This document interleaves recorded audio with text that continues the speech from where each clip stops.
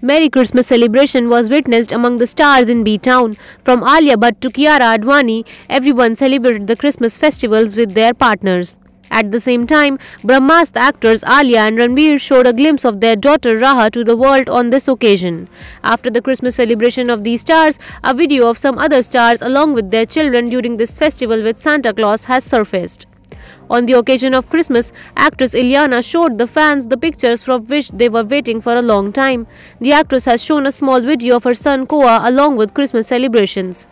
Ileana has shared a photo with her rumored boyfriend in frame. However, this picture is a bit blurry, but fans have showered their love on it. Swara Bhaskar gave birth to Rabia on 23rd September this year. The actress has shared her first Christmas photo with her daughter. Swara had a court marriage with SP leader Fahad Ahmad in February this year. Along with sharing a cute photo of Christmas celebration, the actress has also shown fans a small glimpse of Rabia. Bollywood actress Sonam Kapoor is settled in London after marriage. On August 21, 2022, the actress gave birth to son Vayu, whose face she has not yet revealed to the fans. But the actress showed a small glimpse of her son to the fans on Christmas.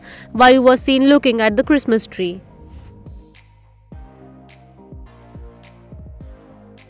Subscribe to our channel. Just click on the bell icon for all the latest updates.